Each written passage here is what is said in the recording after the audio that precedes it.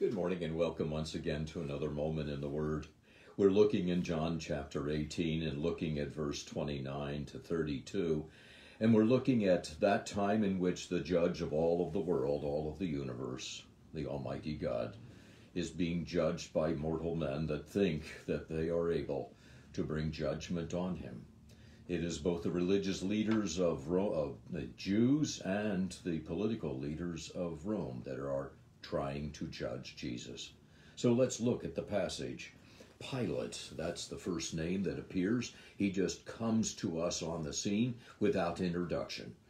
Who is Pilate? Well, there's been a lot written about him, and we have found an inscription back in 1962 in uh, Tiberias, uh, Caesarea, uh, on the Mediterranean, that actually has an inscription of, of uh, Pilate. Uh, he is a historical figure.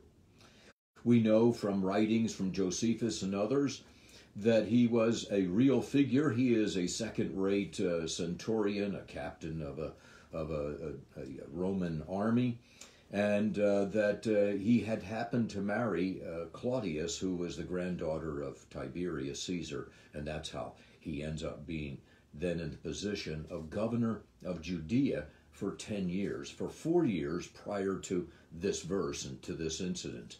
We probably would not know him today. We certainly wouldn't recite him in the Apostles' Creed had it not been for one defendant appearing before him named Jesus of Nazareth. But here we find Pilate. Pilate, it says, went out to them. What had happened? Well, that night, Jesus was tried first by Annas to see if there was any way in which they could proceed.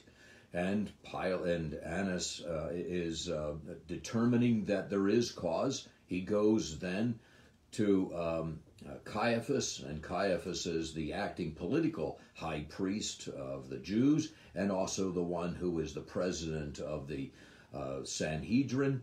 And so there we have the second trial, and there they determine that he is guilty of blasphemy, and then the Sanhedrin, they have a trial, and they determine that he is to be executed. Now he is being led by all of the priests and by the Sanhedrin and the scribes, and being brought over now to Pilate.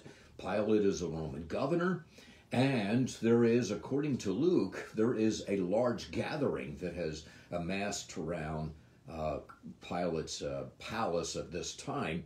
Uh, probably the fortress of Antonia that overlooks the uh, Temple Mount.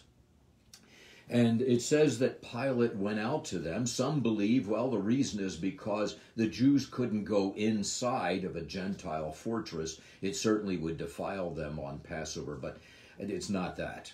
It's that Pilate is coming out. He brings out the rostrum and he begins to set up court. You see, in the Roman Forum, and that's where we get our English word for forensics, is that the uh, place of court would be on the temp, the temple steps.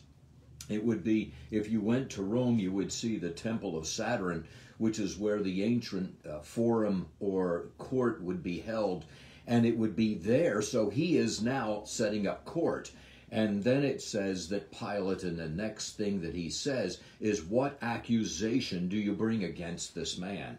Notice he's probably pointing right at Jesus when he says this man, he's not disparaging him, but neither is he giving any uh, accolades to him either. He is just simply indifferent and he is saying, What is your accusation? The word accusation in the uh, Greek is categoria. We get our English word category. It's actually a legal term and it is what is your accusation? You see, before you can have a sentence carried out, executed, there has to be first a sentence passed. Before you can have a sentence passed, you have to have an indictment. Before you can have an indictment, you have to have an accusation. So he's starting at the beginning.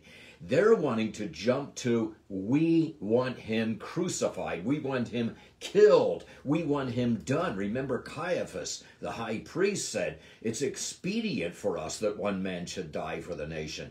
We have already jumped to this conclusion. They had presumed arrogantly in their pride that Pilate would be on their side. You see, he had already sent out a contingency of about 600 the night before and to apprehend Jesus. So obviously they had been talking to each other.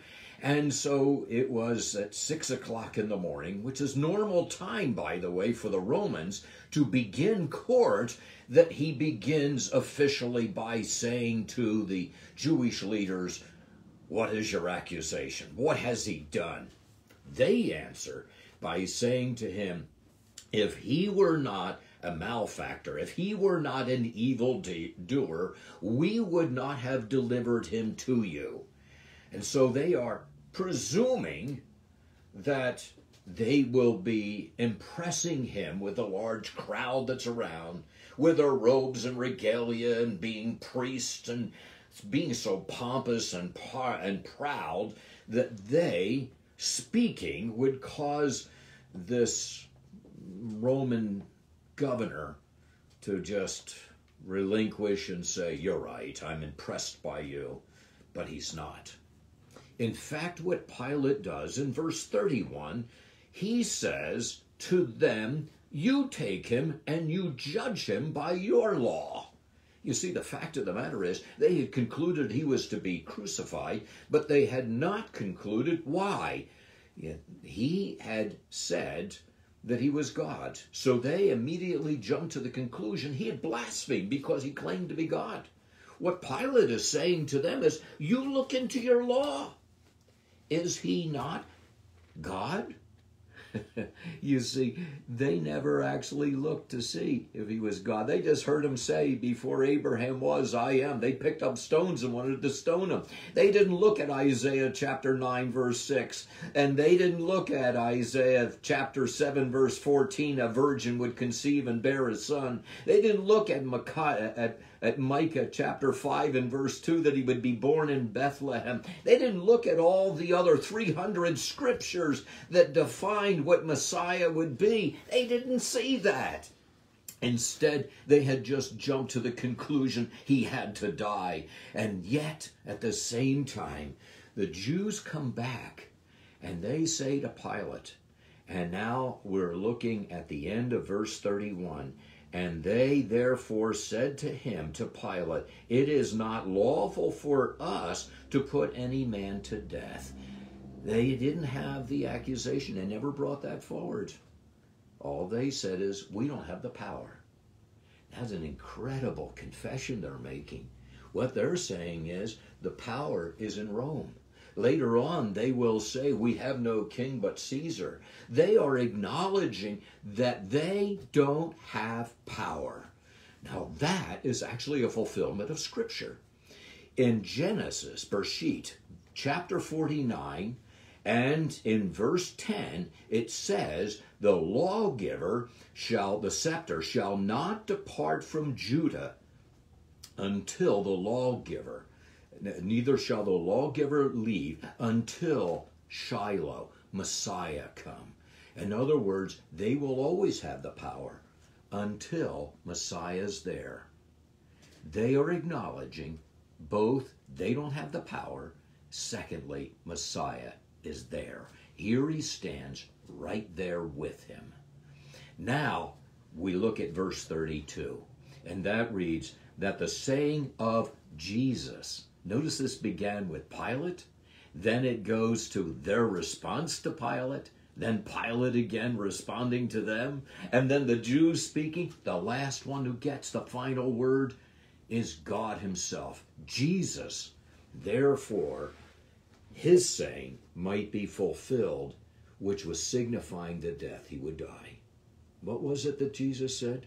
Jesus said, and this is in John 3 as Moses raised up the serpent in the wilderness, so the Son of Man must be raised up.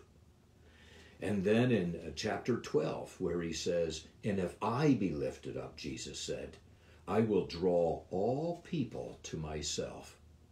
Or in Matthew chapter 20, verse 17 to 19, he's speaking to his disciples and telling them in advance that the Son of Man will be betrayed, that he will be delivered up to the Gentiles, that they will mock him, that they will scourge him, that they will crucify him, and the third day he will rise again.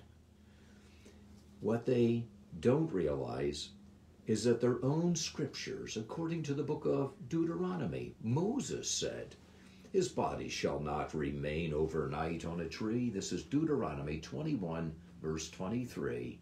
Nor shall you bury him that day, for he who hangs on a tree is cursed of God. You see, the one who has the final word is Jesus, isn't he? If you ever play chess, you know it's not the one who starts the game, but the one who finishes the game.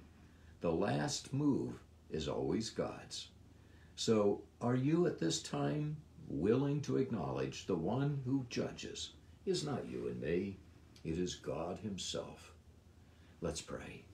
Father, thank you that not only have you judged and determined that all of us are sinners and all of us have fallen far short of your glory, you have also determined that your Son would take our judgment he would take our penalty. He would die in our place, and that he would rise again. And therefore, we who believe and trust in you would have eternal life. In Jesus' name we pray. Amen.